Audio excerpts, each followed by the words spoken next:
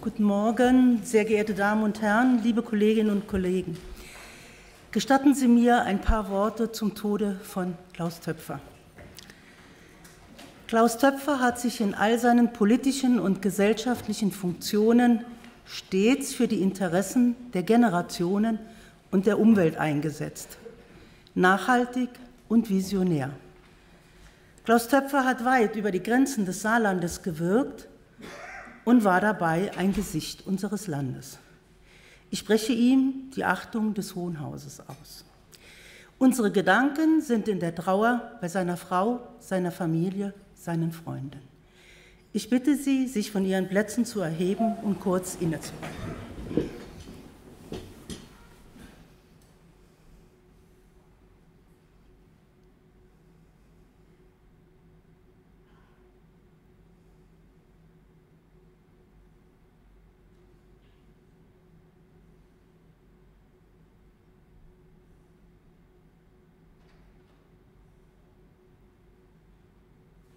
Vielen Dank. Ich danke. Ich eröffne die 27. Sitzung des Landtages und heiße Sie dazu alle herzlich willkommen. Frau Landtagspräsidentin Heike Vincent ist krankheitsbedingt für die Sitzung entschuldigt. Wir wünschen ihr auf diesem Wege, denke ich, gute Besserung und eine schnelle Genesung. Zur heutigen Sitzung darf ich ganz herzlich eine Besuchergruppe der GPW GmbH Bildungseinrichtung Neunkirchen unter der Leitung von Frau Jenny Wannemacher begrüßen. Seien Sie uns willkommen.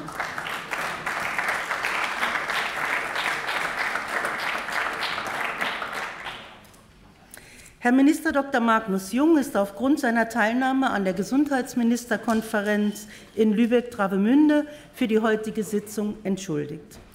Herr Minister Jürgen Barke nimmt an der Wirtschaftsministerkonferenz in Bayern teil und ist für den heutigen Tag entschuldigt.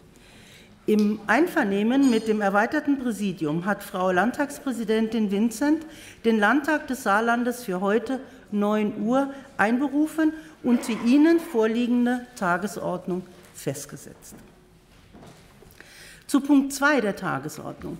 Zweite Lesung des Saarländischen Wohnraumförderungsgesetzes Drucksache 17 865 hat der Ausschuss für Inneres Bauen und Sport zwischenzeitlich einen Abänderungsantrag mit der Drucksache 17 980 eingebracht. Zu Punkt 7 der Tagesordnung Beschlussfassung über den von der CDU-Landtagsfraktion eingebrachten Antrag betreffend Aktionsplan gegen Islamismus, Bedrohungen unserer Demokratie durch Islamismus entschieden bekämpfen, Drucksache 17 975 hat die SPD-Landtagsfraktion mit der Drucksache 17 986 den Antrag betreffend konsequentes Handeln für die Sicherheit in unserem Land eingebracht.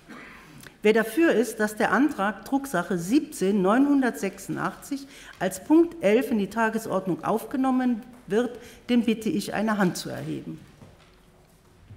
Wer ist dagegen? Wer enthält sich? Dann stelle ich fest, dass der Antrag Drucksache 17 986 als Punkt 11 in die Tagesordnung aufgenommen ist und gemeinsam mit Punkt 7 in einem ganzen Redezeitmodul beraten wird.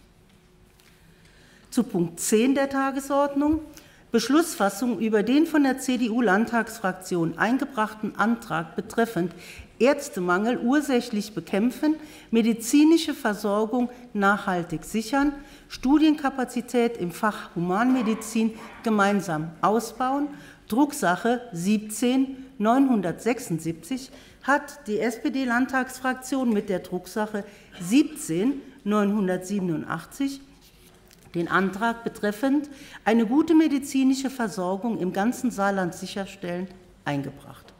Wer dafür ist, dass der Antrag Drucksache 17 987 als Punkt 12 in die Tagesordnung aufgenommen wird, den bitte ich, eine Hand zu erheben.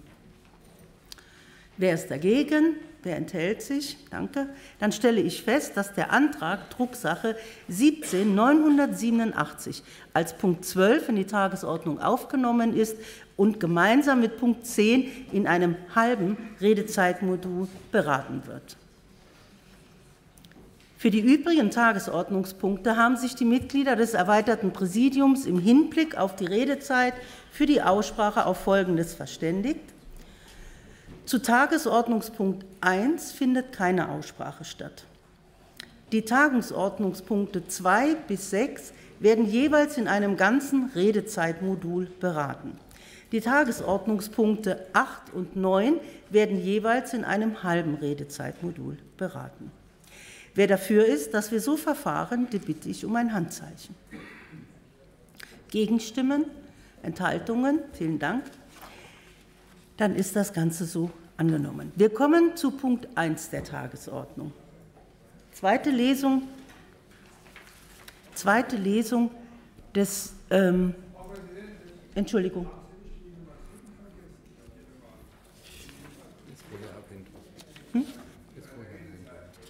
Ist vorher, glaube ich, gesagt worden. Punkt 7, 12, 10. Kann es nochmal zu Punkt 7 der Tagesordnung habe ich gesprochen. Dass es dort entsprechend einen Antrag gibt der SPD-Landtagsfraktion, ist erwähnt worden. Wurde auch so abgestimmt. Jetzt haben Sie mich unterbrochen, das nutze ich als Gelegenheit und begrüße Frau Katja Göbel vom Katholischen Büro. Seien Sie uns herzlich willkommen und auch Herrn Kirchenrat Hoffmann, der hinter der Kamera für mich versteckt ist. Seien Sie uns auch herzlich willkommen an der Stelle. Ah. Wir können uns da noch anschließen. Äh, das habe ich die zwei Zeilen nicht direkt gelesen. Liebe Frau Göbel, die Frau Göbel ist das, ist heute anwesend an ihrem Geburtstag. Herzlichen Glückwunsch.